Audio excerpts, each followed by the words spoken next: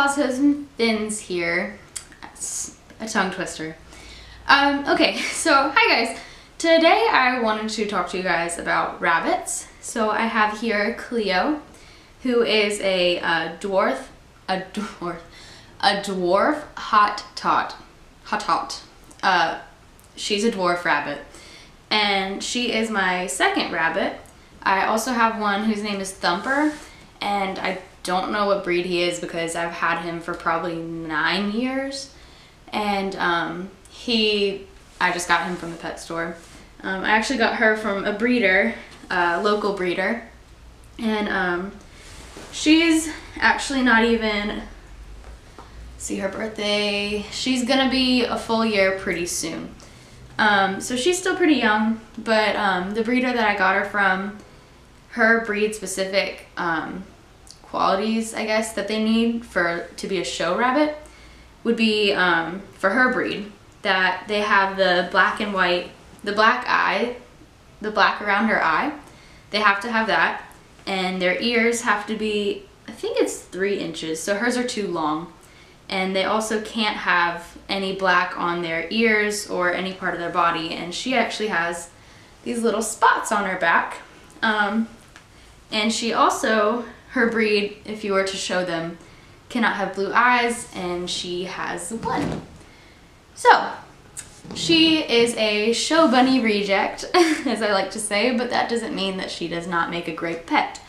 She is a great rabbit, and I let her come with me to the pet store, and I put her in her little carrier, and people love it, and she loves it and she sits on my lap all the time and she loves to hop around. And um, she's honestly she's a great rabbit.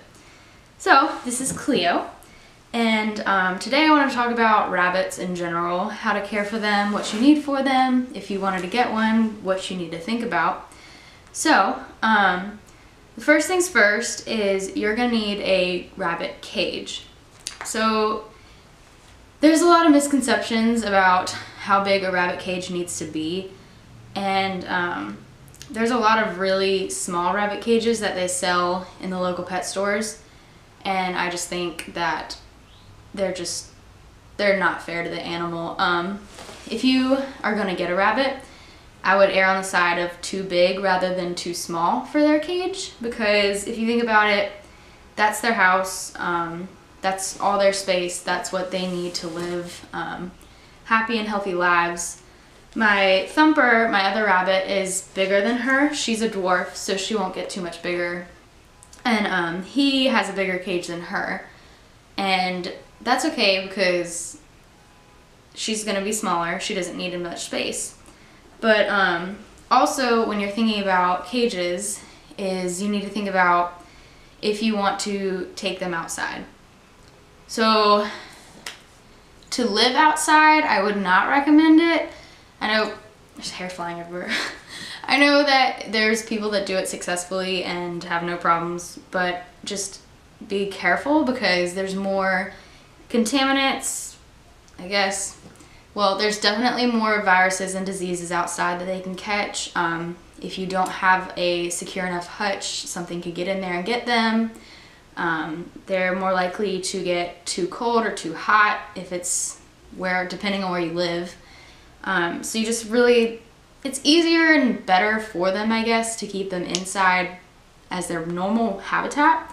But if you want to take them outside, um, just as like a treat to like just let them run around, um, what I did is I bought PVC pipe and I made a huge, I probably should measure it, I don't know, it's huge. I made this huge um, pen for them outside and took PVC pipe and I made a big square with the pipe and I doubled it up. I'll take a picture of it. But I put chicken wire on the outside. So, and then it's super cheap, like it's not that expensive. And I got zip ties and I zip tied that to the PVC pipe. So I would not leave them alone because it could get too hot, it could get too cold, something could come in and get them. I mean, she's a white rabbit. She's going to be very visible to any birds or anything. Um, so you want to just be really careful. And if they ever get excited and decide that they want to jump out, uh, that's gonna be another thing. So make sure it's tall enough if you're gonna build your own.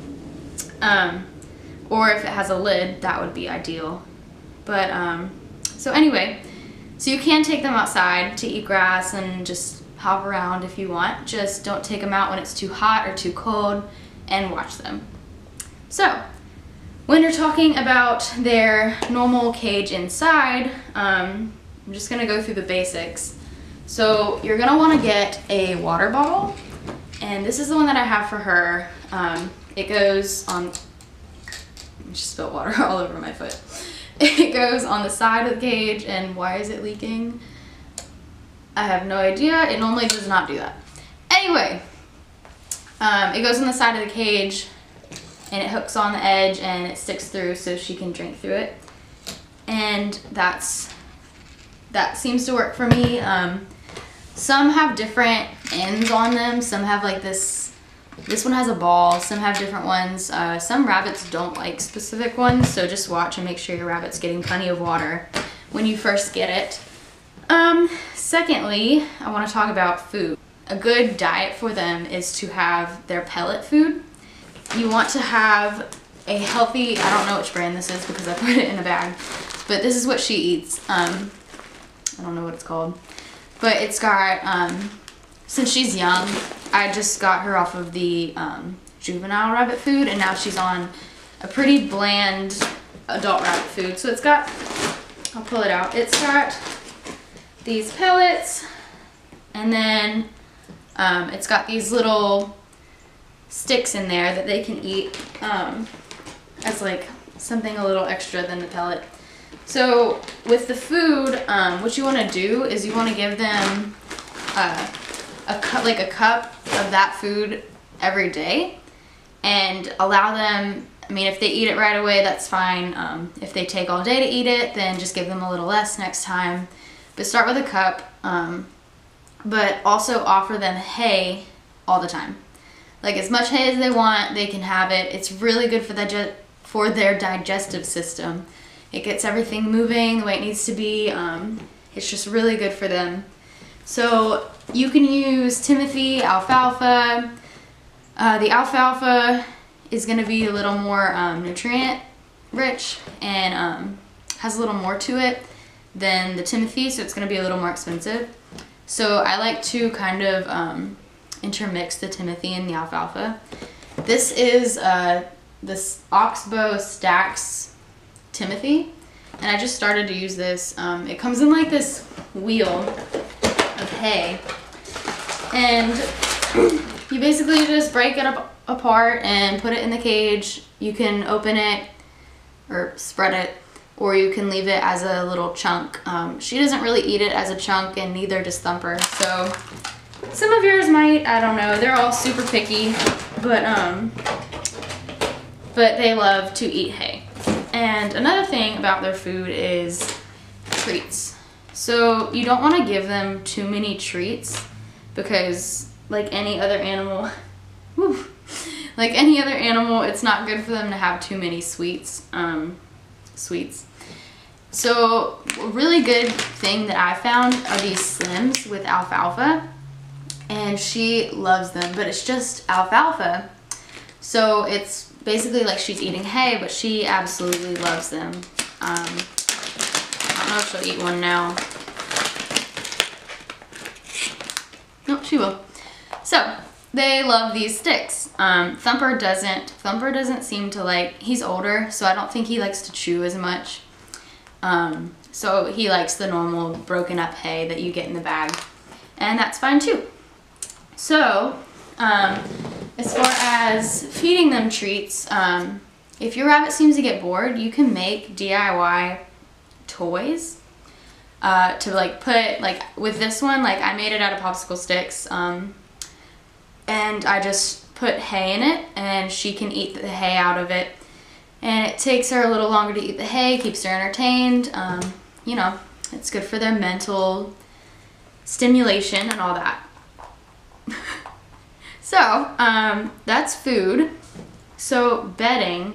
A lot of people use um, wood shavings, and that's fine. Um, I've just found that it's a little bit more dusty, um, makes kind of more of a mess. Um, some people, I've heard that it's not good for the respiratory system to have that dust in there with them.